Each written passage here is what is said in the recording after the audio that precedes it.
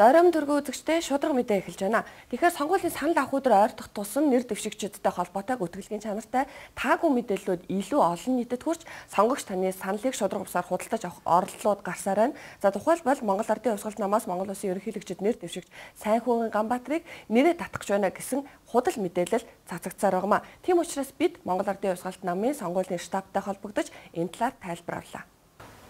Монгол Ардын Хувьсгалт намаас нэр дэвшиж байгаа Ганбаатар сонгуульд одоо оролцохдоо нэрээ татгах байгаа гэх маягийн одоо цуурхлыг сонгогчдыг одоо төөрөгдүүлсэн мэдээллийг бол их гадуур цацж байна. Ялангуяа одоо Монгол Ардын нам Ардсан намын сонгуулийн хуулагч нар бол иймэрхүү хэл яриаг бол гаргаж яваад байгаа маа. Тэгэхээр энэ бол огт боломжгүй зүйл. Хуулиараа бол ерөнхийлөгчийн сонгуульд нэр дэвшсэн хүн бол нэрээ татах тухай ойлголт байхгүй хориглочихсан байт юм аа. Хоёрдугаарт сүүлийн үед авсан судалгаагаар Монгол Ардын Хувьсгал намаас нэр дэвшиж байгаа сайн хүүхэн Ганбаатар бол дандаа нэг номерт явж байгаа Улаанбаатар хотч төр хөдөө орон нутагч төр ийм одоо ялах боломжтой ялж яваа нэр дэвшигчийг нэрээ татна гэх маягаар цуурхалт тарах нь бол үнэмшлгүй юм. Тэгэхээр манай сонгогчд маань Монгол Ардын Хувьсгал намын дэмжигчд маань иймэрхүү яриа цуурхалт бити автаарай. Бид нар ялнаа. Бид нар хүчтэй байгаа, арт түмэн дэмжиж байгаа. Бидний сонгуульд бол чин сэтгэлээсээ оролцож байгаа Монгол улсад хөгж хөөр гарц байгаа бидэнд итгээрэй гэж хэлмээр.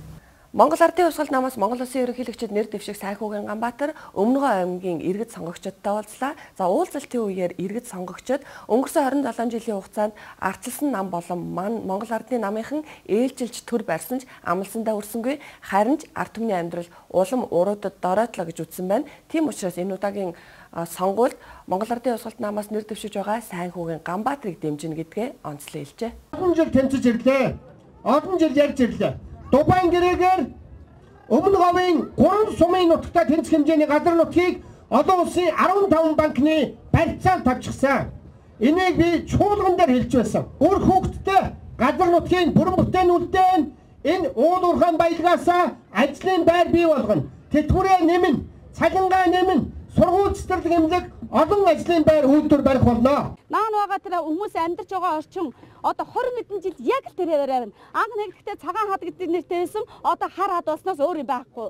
Тэр хүний амьдрал амь амьдрал ерөөсөө тэнд өнгөрчөө сүрч байна. Энэ олон жил одоо энэ улсын одоо төр барьж байгаа энэ улсууд яагаад тэнд юм хийдэг юм бэ? Өдөрт хэдэн гараараа хүмүүс өгөж байна.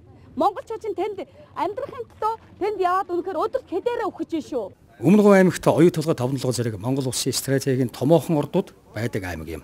Анханасаа гадныханд ашигтай байдлаар хийсэн гэрээнээс болж нутгийн иргэд үр өгөөж хүртэж чадахгүй.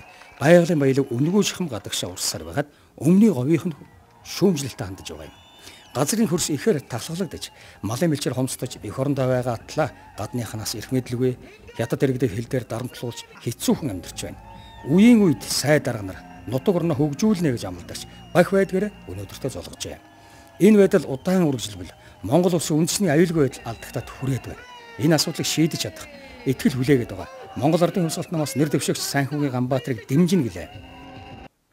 За үзэгчдээ та бүхэндээ анхааруулж дахин нэг мэдээлэл хүрэхэд Монгол Ардын Хувьсгалт намаас Монгол Улсын ерөнхийлөгчд нэр дэвшиж байгаа Сайнхүүгийн Ганбаатарын нэр дээр Facebook буюу нүүр номонд худал хуурамч хаяг нээж манангийн буюу Монгол Ардын намаас нэр дэвшиж байгаа ардсан намаас нэр дэвшиж байгаа нэр дэвшигчдтэй холбоотой гүтгэж дайрж дарамжилсан худал мэдээллүүд олон нийтэд хүргэж байна. Тийм учраас та бүхэн энэ одоо хуурамч аккаунтын мэдээлэлд бүү итгээрэй гэдгийг бас онцгойлон дурдъя. Яагад бол Монгол Ардын явсгалт намаас нэр дэвшиж байгаа Сайхан Ганбаатар сонгуулийн сурталчилгаа эхлэхээс эхлээд л дуусахыг хүртэл шударгаар шударгаар энэ удаагийн сонгуульд өрсөлдөнө гэдгээ онцгойлон анхааруулж мэдгдэл гаргасан байгаамаа. За тэрчлэн бас нэгэн мэдээллийг хүрэхэд нэр дэвшиг сайн хүүгийн Ганбаатар маргаас 6 дугаар сарын 23-нд 11 цагаас Булган аймагт 14 цагаас Орхон аймагт за 20 цаг 40 минутаас Дархан уул аймгийн иргэд сонгогчдод уулзахаар байна. Ингээд шудраг мэдээтэй хамт байсан танд баярлалаа.